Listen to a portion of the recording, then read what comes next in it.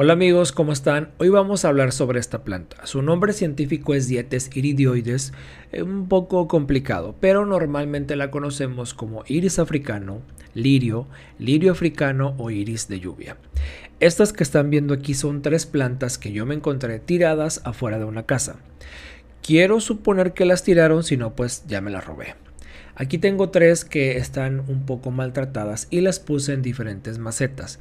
De estas tres, únicamente una fue la que sobrevivió. Así que les voy a platicar mi experiencia, los cuidados y consejos básicos para tener esta planta en casa. Es una planta que da unas pequeñas flores y lo curioso es que solamente duran un día, pero esta no para de producir flores. Son de color blanco con manchas oscuras, naranjas y unos pétalos centrales azulados o lilas.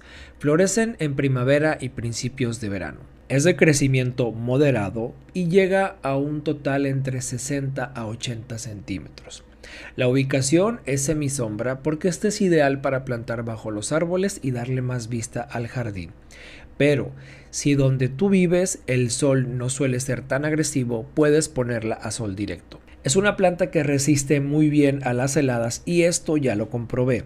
Aquí donde vivo yo los eh, inviernos son muy agresivos y ahora que pasó una helada eh, honestamente se me olvidó protegerla, la dejé sola y la planta jamás se marchitó, jamás se quemó, cosa que se me hizo extraño porque otras plantas que se supone que son resistentes terminaron muriendo. Si la tienes en maceta es importante que, eh, que tenga un buen drenaje, ya que no le gustan los encharcamientos, si no esta planta se puede pudrir. Yo la riego cada vez que la tierra está completamente seca y esto por lo general es cada dos o tres días. Además que es una planta resistente a las plagas y a las enfermedades, a mí en lo personal jamás se me enfermó y jamás este, le han llegado plagas. Y bueno, se me estaba olvidando algo muy importante que esto siempre digo al principio de los videos. ¿Cómo puedo obtener esta planta?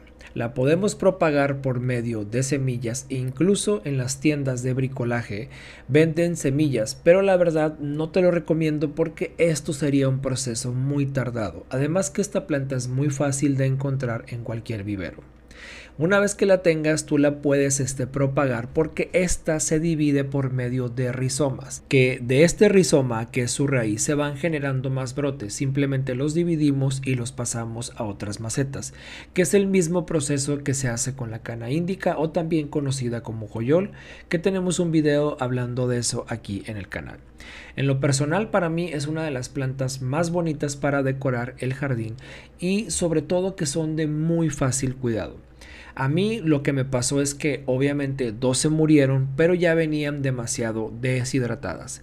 Pero la que sobrevivió ha aguantado muchísimo. Incluso como la tengo en maceta, la he dejado a sol directo. Y aquí hablamos que siempre estamos arriba de 40 grados.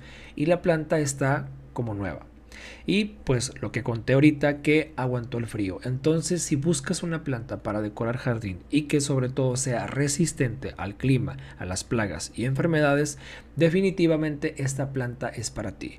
Ve algún vivero de tu localidad simplemente con este nombre, puedes preguntarle este a las personas que trabajan ahí porque también hay que recordar que no en todos lados, incluso dentro de aquí de México, se les conoce a las plantas con el mismo nombre. Lo que yo siempre hago, y es un consejo que les doy, es que llevo fotos en el celular. Simplemente les digo, mira, busco esta planta, no sé cómo la conozcas tú, pero es esta.